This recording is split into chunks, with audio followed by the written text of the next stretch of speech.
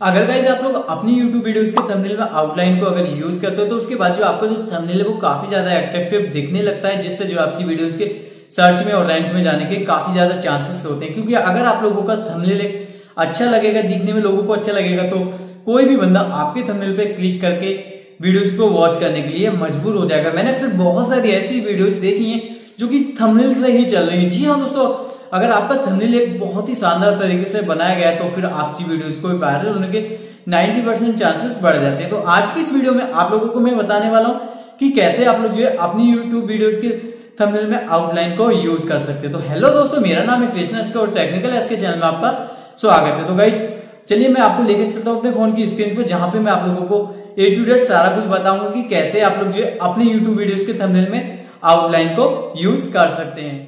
तो भाई, सबसे पहले आप लोगों को ज़रूरत पड़ेगी एक अपने फ़ोटो की पीएनजी की। जी हाँ दोस्तों, सबसे पहले आप लोग एक फ़ोटो जो है पीएनजी में बना लीजिए, अपनी जो भी फ़ोटोज़ है उसे पीएनजी में कर लीजिएगा, ठीक है?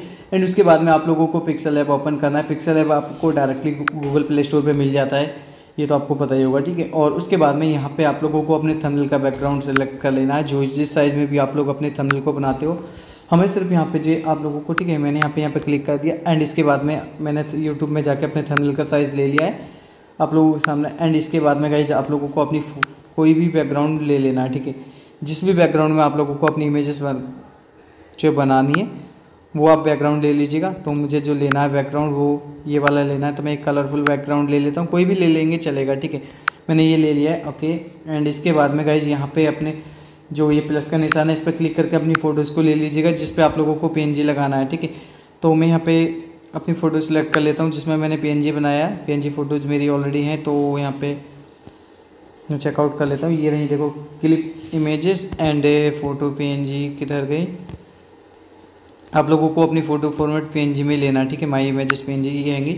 तो यहाँ पे जैसे कि मैं इस वाले फ़ोटोज़ को ले लेता हूँ, इसको आप सिलेक्ट कर लीजिएगा। अपनी फ़ोटो जो भी है एंड इसके बाद में अपने थंबनेल के हिसाब से आपको सेट कर लेना है ओके तो यहाँ पे मैंने इस तरीके से इसको ले लिया। अब मुझे इस पर आउटलाइन यूज़ करनी है, ठीक है? तो इस पर आउटलाइन यूज़ करने के लिए सिंपल सा हम लोग यहाँ पे टैक्स वगैरह जो भी लिखना है हमें लिख सकते हैं। जैसे कि मैं यहाँ पे दिखा देता हूँ। यूट्यूब थंबनेल ठीक है? आप इतना जो भी लिखना चाहें वो लिख सकते हैं, ठीक है? यहाँ पे मैं इसको फ़ॉन्ट वगैरह सेलेक्ट कर लूँगा। ये सारा काम करने ना, ये तो एक अलग चीज़ हो जाती है, मैं इसमें आपको समझाऊँगा नहीं। ठीक है थंबनेल के लिए मैं एक अलग से एक वीडियोस क्रिएट करूँगा, जहाँ से आप लोग ये सारा कुछ जान लोगे, ठीक है? जैसे कि मैं यहाँ पे इसको क्लिक कर दिया और यहाँ पे आप लोग इसमें कलर वगैरह जो भी डालना है, वो डाल सकते हो। ईजी बहुत आसान है, ठीक है? जैसे मैंने यहाँ पे इस पर आउटलाइन डाल दी और ये देखिए, ठीक है? आप इसमें कलर वगैरह कुछ भी लगा सकते हो स्टॉक वगैरह यूज़ कर सकते हो। और जो भी जैसे भी स्ट्रोक चाहिए वो डाल सकते हो। लेकिन फ़िलहाल मेरा काम है यहाँ पे थंबनेल में आउटलाइन को कैसे लगाएँ, ठीक है? तो उसके लिए एक सिंपल सा आप लोगों को ये बीच वाले उस पर जाना है। पहले अपने फ़ोटो पे क्लिक करना है, उसके बाद में इस वाले बीच वाले बॉक्सेस पे जाना है, ठीक है? ध्यान रखिएगा ओके एंड इसके बाद में कहीं आप लोगों को यहाँ पे एक स्ट्रोक का ऑप्शन मिलेगा। स्ट्रोक ये देखिए स्ट्रोक का ऑप्शन मिलेगा आप इस पर क्लिक कीजिएगा। आपको जिस कलर की स्टॉक लगानी है, उस कलर को यहाँ पे सिलेक्ट कर लीजिएगा या फिर ऑटोमेटिकली ये जो ऐप है वो आपको सजेस्ट कर देगा। एंड इसके बाद इसको टेन आपको अपने जितना आपको बेस्ट लगे उतना, उतने नंबर तक इसको इंक्रीज कर सकते हैं प्लस से बढ़ेगा माइनस से घटेगा।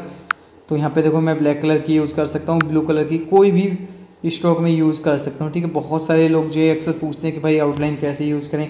तो इस चीज़ को आप लोग आराम से यूज़ कर सकते हो, जैसे कि यहाँ पे देखिए। बहुत ही ज़्यादा इंपॉर्टेंट होता है ये। अगर आप लोग यूज़ करना चाहें तो काफ़ी इंपॉर्टेंट है, अगर नहीं करें तो कोई प्रॉब्लम नहीं है। लेकिन यूज़ करोगे तो थोड़ा सा बेहतर लगता है। और यहाँ से आप लोग जो अपने फ़ोटोज़ के कलर्स वगैरह भी जो आउटलाइन है, उसके कलर चेंज कर सकते हो। इसलिए ठीक है? किधर गया? ये देखिए, ठीक है? यहाँ से ग्रीन कर सकता हूँ येलो तो ऑलरेडी है ही। रेड कर सकता हूँ, ठीक है? तो रेड काफ़ी चिल गई तो आप लोग इस तरीके से अपनी आउटलाइन को यूज़ कर सकते हो। बहुत ही सिंपल है। तो गाइज़ आज की इस वीडियो में बस इतना ही। आई होप कि आप लोगों को मेरी ये वीडियो पसंद है। वीडियो पसंद आई तो वीडियो को लाइक ज़रूर कीजिएगा। और चैनल पर पहली बार हो तो सब्सक्राइब करके बेल आइकन को प्रेस भी कर लीजिएगा। तो चलिए गाइज़ मिलते हैं नेक्स्ट वीडियो में।